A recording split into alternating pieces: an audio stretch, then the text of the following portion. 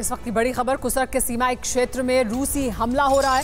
रूस ने यूक्रेनी टैंक को तबाह कर दिया है। घातक ड्रोन से रूस ने बड़ा हमला किया। तो सेना पर यूक्रेन की, जहाँ यूक्रेन की सेना पहुँचे कुसर्क में, अब कुसर्क में रूस भी हमले कर रहा है।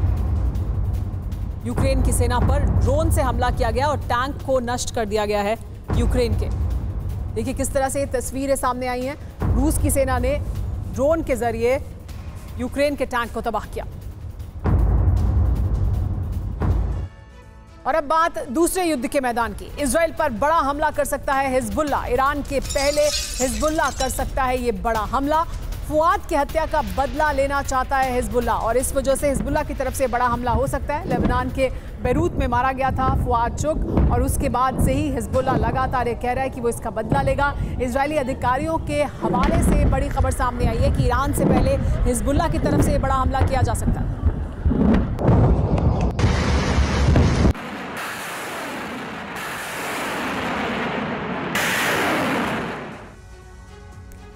अब जान लेते हैं, एक और ईरान लगातार इसराइल पर हमले की धमकी दे रहा है। दूसरी तरफ़ अचानक हिजबुल्ला के हमले की आशंका क्यों मंडराने लगी है? तो वजह है इजरायली स्ट्राइक में मारा गया हमास कमांडर फुआद। आपको बता दें कि फुआद हिजबुल्ला का बड़ा सैन्य कमांडर था, जिसे हिजबुल्ला प्रमुख नसरुल्ला का करीबी भी माना जाता था। वहीं हमले के तरीके की बात करें तो माना यह जा रहा है कि हिजबुल्ला चेतावनी नहीं देगा, बल्कि सीधे विध्वंसक हमला करेगा। अरब में बड़े युद्ध के आसार बढ़ने लगे हैं। ईरान ने एक बार फिर से अल्टीमेटम दिया है कि अगले 48 घंटे में इसराइल पर वो हमला करेगा। दरअसल ईरान के इस हौसले की वजह रूस और चीन का साथ आना है। रूस ने लॉन्ग रेंज और मीडियम रेंज मिसाइल की बड़ी खेप ईरान भेज दी है, जिसका इस्तेमाल ईरान इसराइल पर हमले में कर सकता है।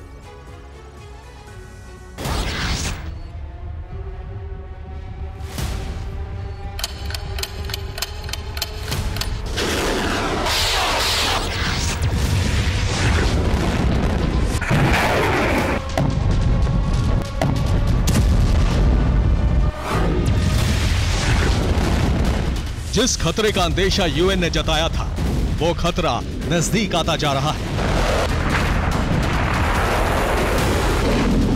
जिस खतरे को लेकर अमेरिका ईरान पर अंकुश लगा रहा था, वो खतरा अब पूरे अरब पर मंडरा रहा है।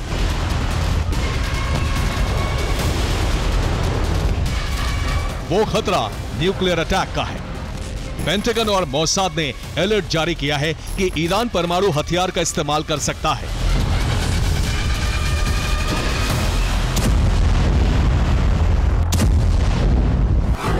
तक अमेरिका ये मानकर चल रहा था कि ईरान परमाणु हथियार बनाने के बेहद करीब है। पेंटागन की ताज़ा रिपोर्ट में यह सामने आया है कि ईरान परमाणु हथियारों का इस्तेमाल करने में देर नहीं करेगा। तो क्या ईरान ने परमाणु हथियार बना लिए हैं? अगर ऐसा है तो अरब को परमाणु विनाश से कोई नहीं बचा सकता। क्योंकि एक बार ईरान ने परमाणु विकल्प का इस्तेमाल किया तो अमेरिका इसराइल पलटवार ज़रूर करेंगे।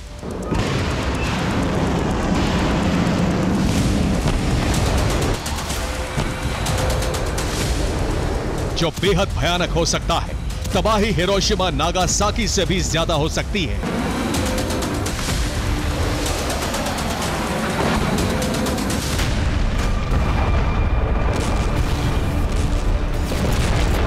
लेकिन इस बार शक्ति संतुलन के लिए रूस और चीन ईरान के साथ है। इसलिए अमेरिका हर कदम फोक फोक कर उठा रहा है।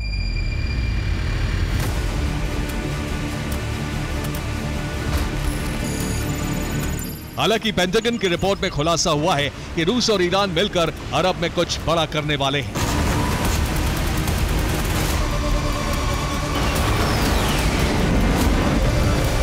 इसके पीछे की वजह जानिए।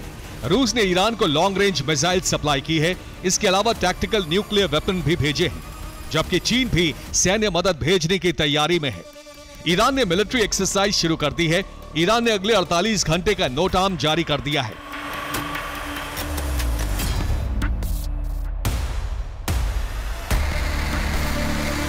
अमेरिका सतर्क है। उसने ईरान की 48 घंटे में हमले की धमकी को गंभीरता से लिया है। इसके लिए इसराइल में हाई अलर्ट जारी करने को कहा है। साथ ही इराक सीरिया में अपने सैन्य ठिकाने भी वॉर रेडी कर दिए हैं।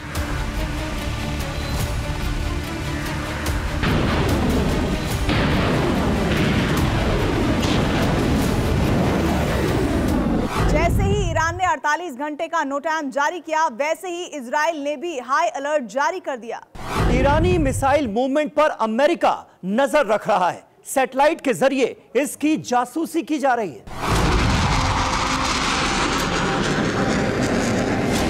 हालात इतने गंभीर हैं कि इसराइल ने थ्री लेयर डिफेंस सिस्टम के अलावा सड़कों पर पोर्टेबल बंकर बनाए हैं। जिससे हमला होने की स्थिति में पोर्टेबल बंकर को दूसरी जगह पर शिफ्ट किया जा सके।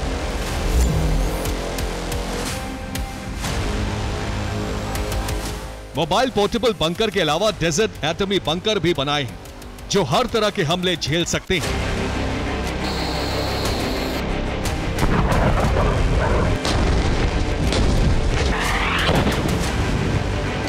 वैसे भी इसराइल की पूरी कैबिनेट तेल अवीव से यरूशलेम एटमी बंकर में शिफ्ट की जा चुकी है। वहीं से युद्ध से जुड़े सारे फैसले लिए जा रहे हैं। इसमें रूस और चीन का भी इनपुट लिया जा रहा है। सिर्फ़ 24 घंटे पहले ही तेहरान में रूसी एनएसए और पूर्व रक्षा मंत्री सरगई शोइगो मौजूद थे। जिसके बाद एक और खेप ईरान के लिए रवाना हुई। रूस से ईरान को एटमी मिसाइल और दूसरे हथियार पहुँचने शुरू हो गए हैं।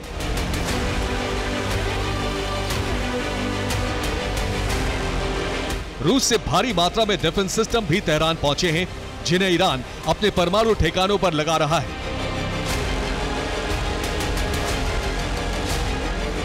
दूसरी ओर रूसी स्कंदर जैसी एटमी मिसाइल पहुँचने के बाद इसराइल वॉर रेडी मोड में आ चुका है। हमले से बचने के लिए सड़कों पर बंकर कैप्सूल रखे जा रहे हैं।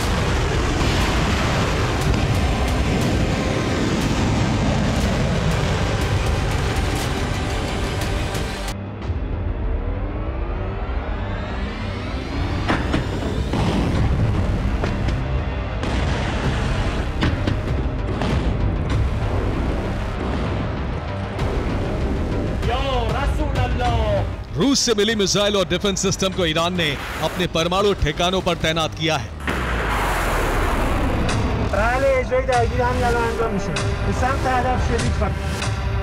इससे साबित हो रहा है कि ईरान को भी सबसे ज़्यादा खतरा परमाणु ठिकानों पर अटैक को लेकर है।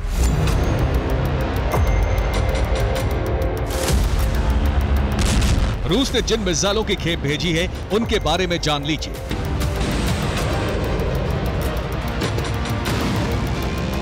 पहली मिसाइल है स्कंदर जिसकी रेंज 500 किलोमीटर है और स्पीड 7000 किलोमीटर प्रति घंटे है।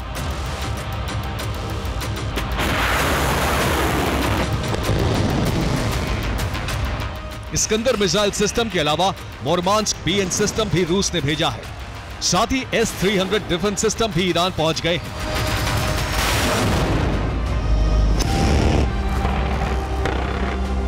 इसराइल पर संभावित खतरे को देखते हुए अमेरिका ने एक और समुद्री बेड़ा भूमध्य सागर में भेजा है।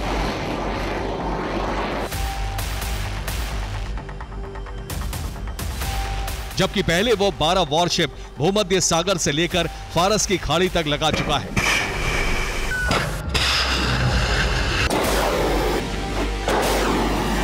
अब इसराइल की सुरक्षा के लिए दूसरे नेटो देश भी आगे आए हैं। ब्रिटेन ने भी एक समुद्री फ्लीट इसराइल के पास तैनात करने के लिए भेज दी है।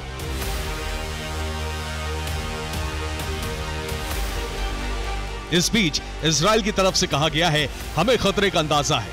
अगर हमें इनपुट मिलता है कि ईरान हमला ज़रूर करेगा तो हम इंतज़ार नहीं करेंगे।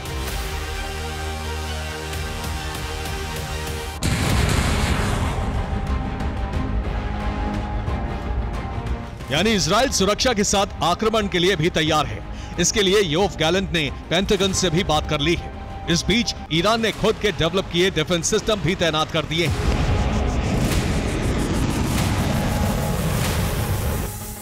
जिनमें nine Dey short range defence system है।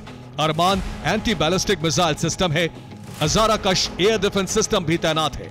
Power 373 long range defence system सैन्य ठिकानों की सुरक्षा में लगाया गया है।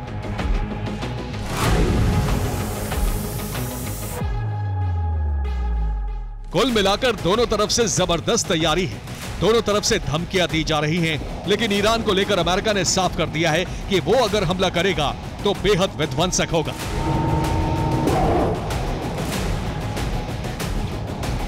यानी अरब से ऐसी बारूदी आंधी की शुरुआत हो सकती है, जिसमें पूरा यूरोप घिर सकता है।